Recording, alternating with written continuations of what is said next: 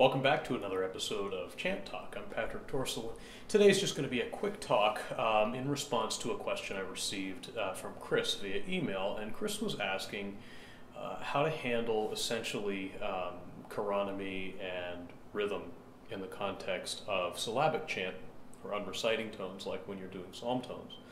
Uh, because there's no, there's usually no ictus written in. There's there's no uh, melody to follow for arsis and thesis. So what do you do? How do you handle that? We'll take a quick look at that today. Um, there's, in, in my opinion, there's really no hard and fast rules about this. I'm going to tell you what the Liber Usualis says, and that those are essentially the the um, Solesmes rules uh, for how to place the ictus in syllabic chant.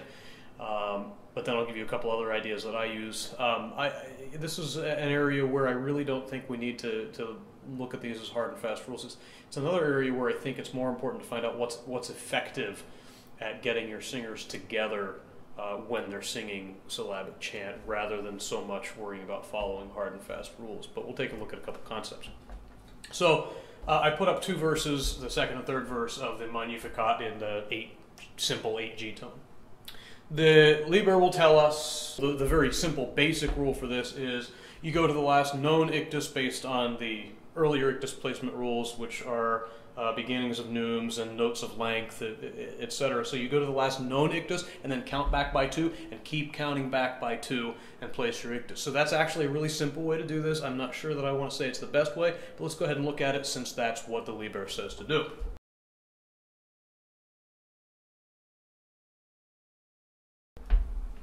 Okay, we have a note of length ending each section here, right?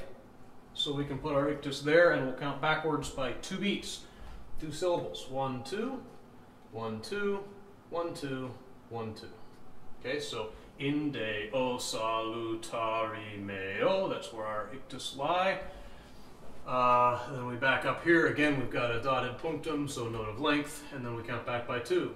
Two, one, two, one, two, one, two. So we're beginning on the offbeat on beat two. So et exultavi spiritus meus in Deo salutari meo. Okay, so that's just that's just the ictus. Let's go ahead and develop that notion first before I talk about uh, kind of the other ideas we can look at. Now, one of the concerns is if you don't have a melody to follow, how do you figure out arsis and thesis, for example? Well, I would argue that you, you don't have a melody to follow so much, but you do still have phrasing, and that's really what, what the idea of arsis and the idea of thesis is really about. It's you know the arsis is about that that impetus, that pushing forward, while the the uh, thesis is really the relaxation, right, or the, the, the kind of drawing back, the falling off. So I think we do still have that even in syllabic chant. Et exultavit spiritus meus. See how it builds up to, to spiritus meus and then it backs off. So I would say we could write in some phrasing for that, right? Exultavit spiritus meus. Same thing on the end here.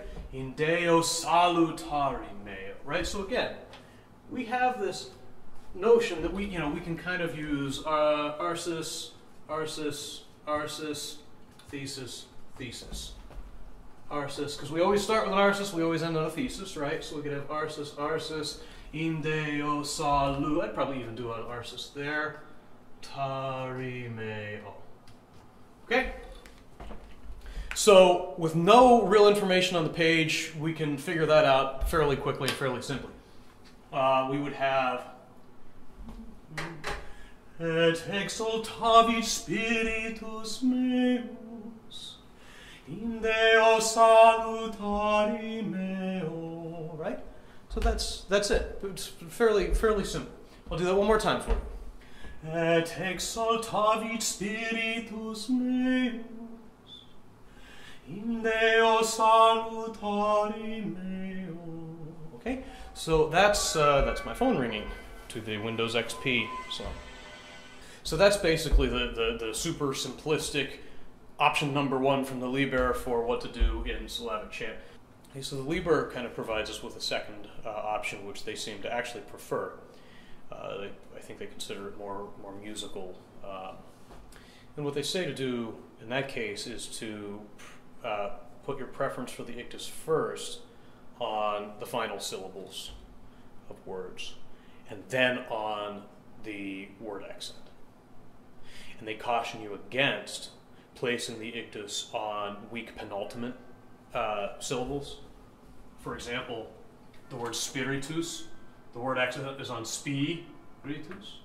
So we could certainly put the ictus on tus and spi, but they're saying be careful wherever this model leads, make sure that we're, we're not accenting a weak penultimate syllable, right? So we'll do that for the first half of the third verse here. Um, so we'll start by favoring the final syllables of the words and see if this works. Okay, so now we have to go from what we know and interpret, uh, or interpolate, I guess, maybe, uh, where to put the others. So we're okay at the end here. One, two, right? So one, two, yeah, that's okay as well. Okay, what do we have here? We're, we have to keep things in groups of two and three, right? So one, two, one, two, three. I think we're going to go here because that's kind of the secondary word accent, humilitatem. The, this E of eat here, the I, would be kind of one of those weak syllables we want to avoid. So uh, let's keep backing up here. One, two, three, one, two, one, two, three, one, two, three, one, two, one. Okay, so we could do it that way. And just like up above, we can we can come up with a certain level of um, phrasing. So, quia respexit humilitatem anciles. So this is kind of the same thing. I mean, these phrases, I, am keeping them really simple, but basically we just, we've got the, the, the build and we've got the fall. So, arsis, arsis. This is not a word accent, it's a little less important. It's in the middle of the word. I might throw a thesis in there. Go back to an arsis over here.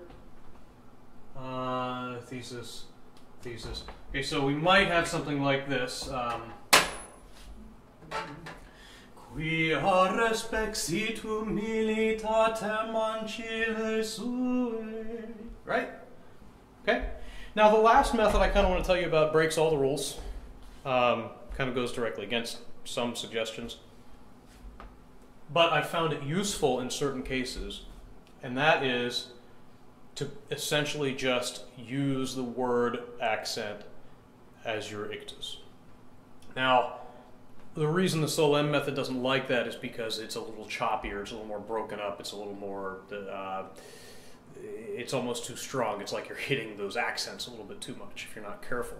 And if you follow the, the Solesmes rules, the idea is to make it just this really smooth, uh, flowing sound rather than having any of the accents really hit too hard.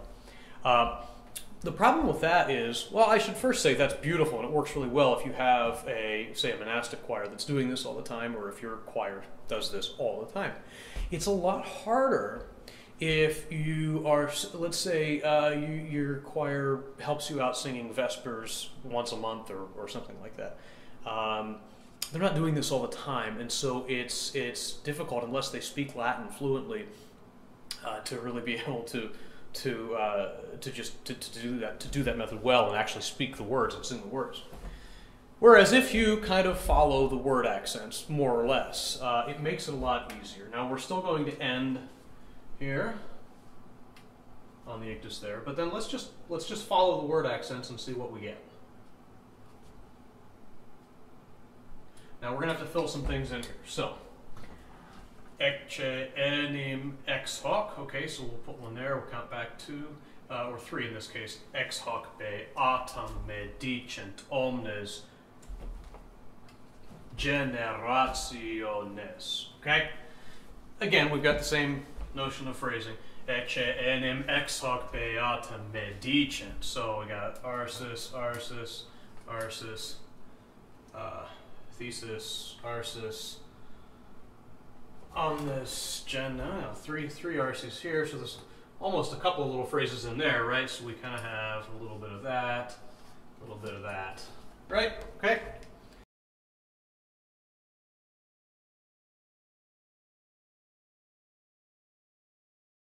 So if we look at the second half of this verse, according to my breaking all the rules rule, Ecce enim ex hoc beatum medicent omnes generationes. Now you can hear when I sang that, I kind of was hitting those accents uh, probably too hard, and that's what they want you to avoid. That's why they say not to do this. But what you're going to find is for people who don't sing Latin all the time, emphasizing the word accent makes it a lot easier to, to kind of keep going through the phrase. Ecce enim ex hoc beatum medicent omnes generationes as opposed to you know up above where we had um, et exaltavit spiritus meus in Deo uh, what is it? Yeah in Deo salutari meo. It's not that bad especially for someone who speaks Latin but I'm just throwing this out there as, as kind of one uh, one more idea one more way you might approach this with a group that's less familiar with it. So let's look at all three of those again. The the simple rules from Solesmes would say. Um, Et exultavit spiritus meus in Deo salutari meo. Okay? The slightly more nuanced Solesmes might say, Quia respexit humilitatem ancillae suae. And then my kind of uh, hit the accents would go, Ecce enim ex hoc medicent generationes. Um, I'm in a spot without a lot of room. I hope you could see what, what my arms were doing more or less there. It was a little uncomfortable angle, but um, hopefully that helps clear that up a little bit. If you have any specific questions about that, uh, please feel free to ask. Um, and I will see you all in the next episode of Chant Talk. God bless.